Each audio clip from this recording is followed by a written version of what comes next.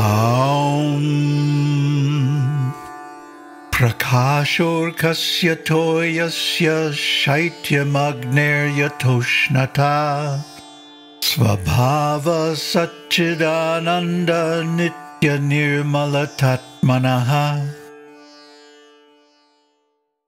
Prakashaha Luminosity. Arkasya of the sun. Toyasya for water, Shaityang, coolness, Agnehe, for fire, Yata, just as, Ushnata, heat, Svabhavaha, nature, Sat, existence, reality, Chit, consciousness, Ananda, bliss, Nitya, eternity, Nirmalata, purity, Atmanaha, of Atman. Just as luminosity is the nature of the sun, coolness of water, and heat of fire, so too the nature of the Atman is eternity, purity, reality, consciousness, and bliss. Namaste. So, one of our recent videos was about the relativity of consciousness.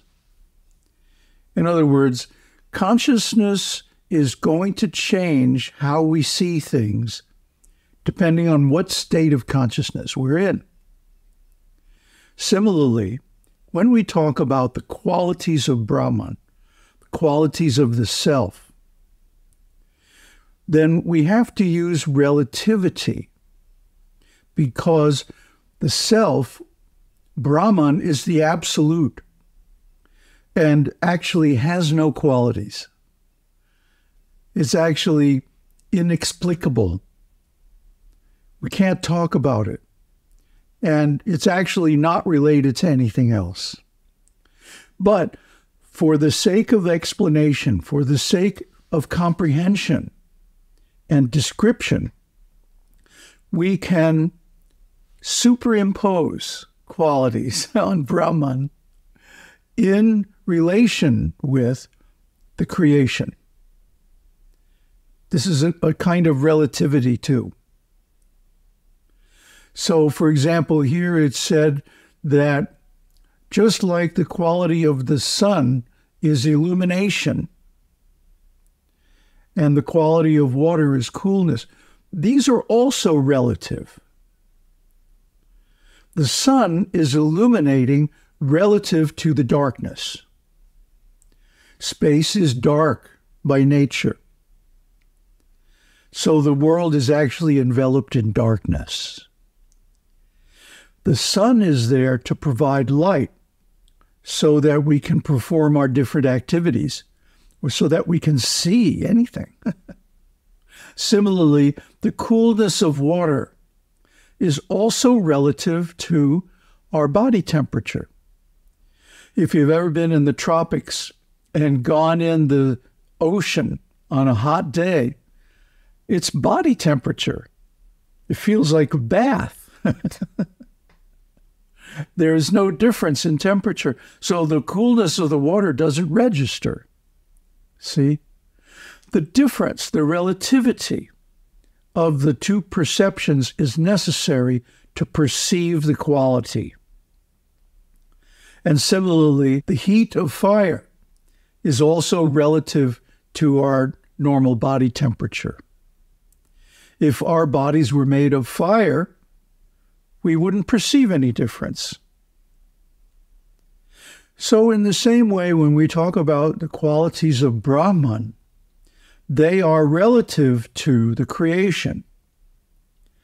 Because there's actually no way to talk about Brahman. So we have to superimpose or overlay the qualities of the material creation so that we can say anything at all about Brahman. We have to compare it with our everyday experience. So here it is said that the nature of Brahman is eternity. And of course, that's different from the material creation where everything is temporary. And sometimes it's said that one attains eternity in heaven, in the, either the lower heaven or the higher heaven, but that's not exactly eternity. That again is only relative eternity for the duration of the material creation. But since that also has an end, it's not really eternal.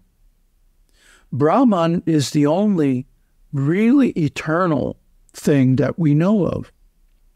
But Brahman's eternity only shows up in relation with the material creation's temporariness, its non eternity, its transience. So, in a similar way, when we say that Brahman is pure, its purity is relative to the impurity of the material creation. And what do we mean by impurity? Anything which is not tending towards self realization. In other words, passion and ignorance. Passion is the cultivation of desires and action leading to satisfying those desires, or at least trying to. Actually, desires can never be satisfied. That's why the sadhu tries to minimize the desires. Because desires lead to suffering. This is expressed in so many ways in so many different scriptures, even uh, not only the Vedic scriptures, also the Buddhist scriptures, and so on. You would think that people would get a clue, but they don't because they're conditioned. Their consciousness is conditioned. So the next one, reality, is in contrast to the conditioned nature of the material creation. Brahman is completely unconditioned. So it is the absolute reality. It never changes. It's not subject to birth, continuance, and death. In fact, Brahman actually, like I said, has no qualities at all. Because what can you compare it to?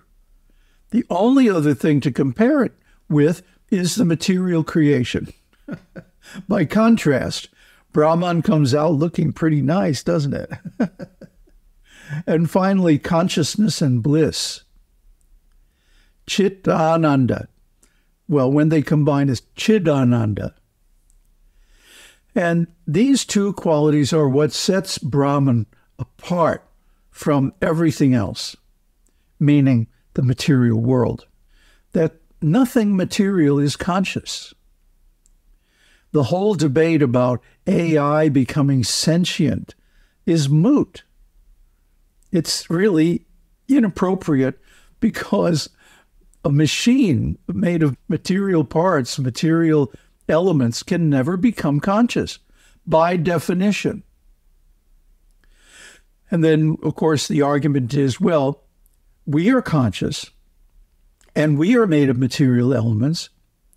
But again, that's looking at the body. And of course, the body and mind reflect the consciousness of Atman. But that consciousness is not native to them.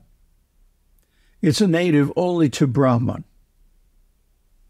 And because it reflects, just like a pot of water, a pot of water is not illuminating. It is not a source of light. Yet, if the sun or moon or an electric light or lightning is reflected in it, it appears to be a source of light. But that's just illusion. That's just conditioning. See, because it has the property of reflectivity, it can appear to be a source of light when some actual source of light is reflected in it. That's all. It's not really giving light only reflecting it. It's only borrowed the light from some other source. Similarly, the body, mind, and intelligence are reflecting the consciousness and the bliss of Brahman. Ramana Maharshi talked about this. He said, We feel happy when we satisfy a desire, at least temporarily. Why is that? Because when we have a desire, we're miserable, isn't it? It's a division where it's separating ourselves into me at the present time and me in the future when I get what I want. So there's this split, this division, this tension between the present and the future, the desired future. And this causes stress. This is suffering. So we should drop all desires. But anyway, when we have them and we satisfy them, at least to some extent, we feel happy. Why? Not because satisfying the desire made us happy, but because dropping the desire allows us to experience the natural happiness of Brahman, the self. In other words, we are naturally happy because we are Brahman, we are the self. We are Atman. And Atman is happy by nature. But when we have a desire, it's an upadhi that covers our natural happiness. So when we uh, apparently satisfy a desire, that allows us to drop the desire to let go of that tension, that suffering, that, oh, I'm craving this thing, you know. And when we do that, it permits the natural happiness of the self to shine. And so this is the actual nature of the self happiness, bliss, consciousness, reality, effulgence by nature. But the effulgence of the self is different from the effulgence of the sun. The effulgence of the self, it's described in the scriptures, is existence. Just like these material bodies are only reflecting the consciousness of the self, the whole material creation is only reflecting the existence potency of the self, the sat potency. And so, if we want real existence, we should realize the self, which is the actuality, the source of everything. Om Tat Sat. Om Shakti Om. Om Namah Shivaya.